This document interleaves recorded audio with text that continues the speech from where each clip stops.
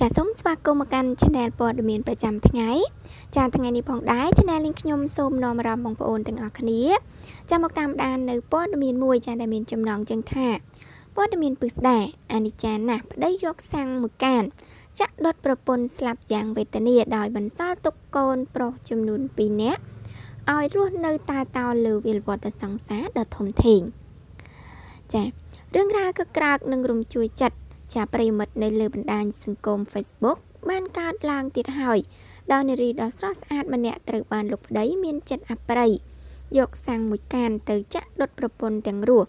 ដោយរៀបគម្រោងការនៃការដុតប្រពន្ធ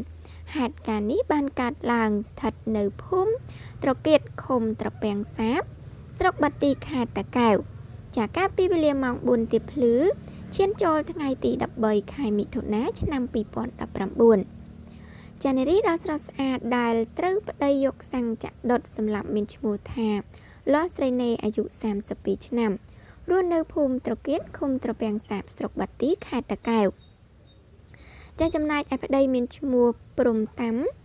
ចាមានអាយុ37ឆ្នាំ មុខរបរអ្នកថែទាំដំរីនៅភ្នំតាម៉ៅខណៈចាខណៈពេលនេះប្តីកំពុងសង្គ្រោះបន្ទាន់នៅក្នុងមន្ទីរពេទ្យ រងចាំជារបួសនិងបានទៅដេកក្នុងគុកចាតាមប្រភពព័ត៌មានបានឲ្យដឹងថាមុនពេលកាត់ហេតុជនសង្ស័យជាប្តីបានរៀបគម្រោងការរួចរាល់ហើយ ដើម្បីដុតប្រពន្ធរបស់ខ្លួនលុះមកដល់ម៉ោង4ទៀបភ្លឺឈានចូលថ្ងៃទី13ចាខែមិថុនាឆ្នាំ2019ជនសង្ស័យក៏យកចំនួនចាសាំងចំនួន1កានមកដុតប្រពន្ធបណ្ដាលឲ្យរងរបួសធ្ងន់រួច ហើយប្តីបានចាយកកំបិតមកអាកខ្លួនឯងតាមក្រោយ ដើម្បីបញ្ចប់ជីវិតនៅក្នុងភ្លើងជាមួយគ្នា តែសំណាងអ្នកចិត្តខាងបានឃើញភ្លើងឆេះនៅក្នុងផ្ទះចារួចក៏រត់ទៅជួយប៉ុន្តែទ្វារផ្ទះគឺត្រូវបានចាក់គន្លឹះដោយអ្នកចិត្តខាង ចាឃើញភ្លើងឆេះនិងលីឡំជាមួយសំឡេងស្រែក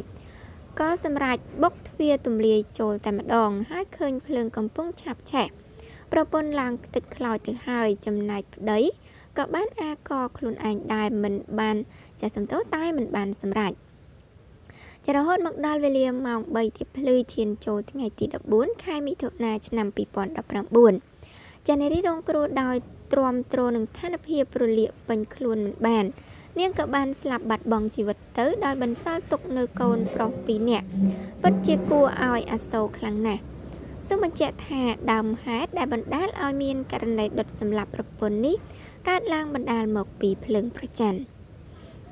ហូហេតុហ្មងបងប្អូនចាដោយសារតែភ្លើងប្រច័ណ្ឌ